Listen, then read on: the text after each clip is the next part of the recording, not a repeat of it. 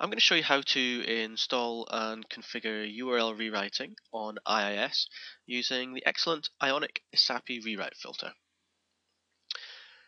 URL rewriting is now supported on IIS, but it is quite limited, and this ISAPI filter has a lot more options in terms of rewrite rules and a lot more flexibility in the search engine optimization context as well. First thing to do is to download the binary from Codeplex. What we're going to do is install the ISAPI filter on a simple e-commerce website called The Beer House, which incorporates product pages and a shopping cart that we'll rewrite the URLs of. The beer house is a sample that's provided with the very nice ASP.NET book, as you can see here, by Marco Bellinasso. So, first thing, let's jump on our web server. There are two objects that will live on your web server and these are the rewrite filter DLL and the configuration file.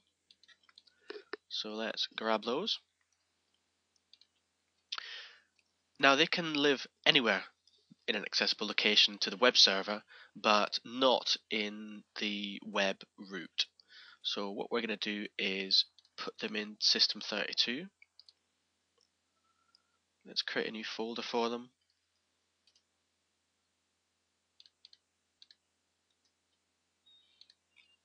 Like that. Now you might have to change the permissions on the folder and the files, but try it first without as it does inherit from the parent. Next thing to do is to enable this filter in IIS. So we're using IIS 7 here on Windows 2008. You can have a separate rewriter for each website on the server. All you have to do is create another folder for each.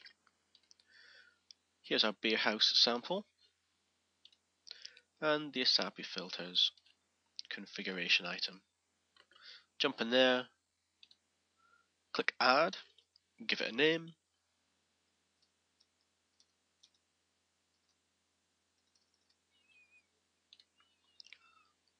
find the DLL, and add it. So that should now be installed. All we have to do is restart the website.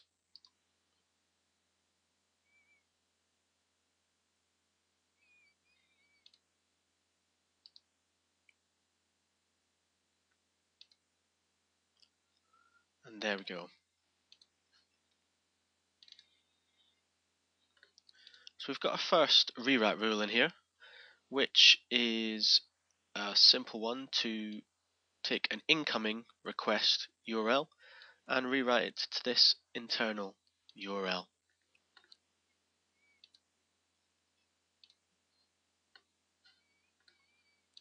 So let's just modify that for our example here. This is the internal URL.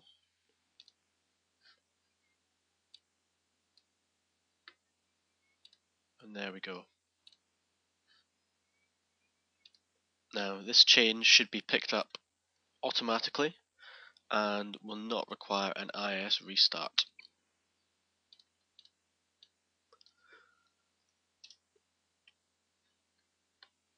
And there we go.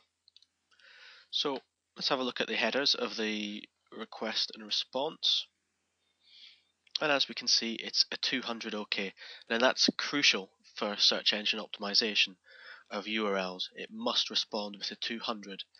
You don't want to see any kind of um, client-side redirect, especially, but a temporary redirect on the server side either.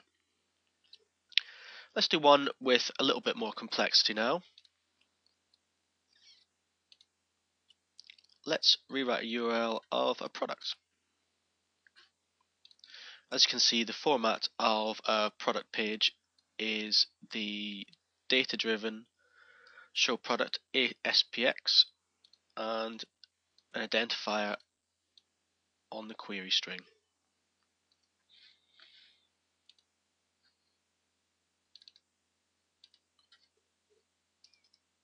And add another rewrite rule.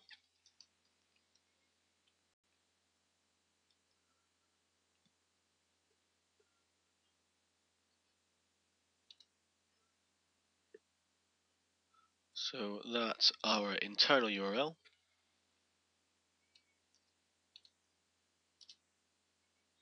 And this is a regular expression. So let's create a very simple regular expression.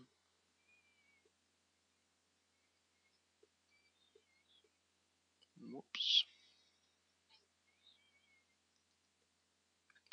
So what this will do is look for this string, match any sequence of characters ending in this string here.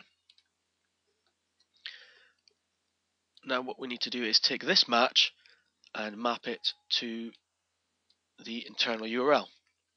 And it's as simple as saying match, take the first match and tag it on to the end of the URL like that. Save the configuration. And let's see if it works.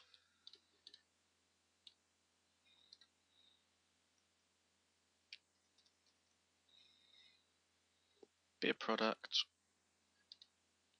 And I think this was 7. Brilliant. So again, let's inspect the headers and yes it's a 200 OK. Now of course this is only part of the task when you're creating search engine friendly URLs. The other things you need to do are to make sure that all of the links on the website now point to the SEO friendly URLs and the old links also do a permanent redirect to the SEO friendly URL. You might also have to look at postbacks that are done to the server.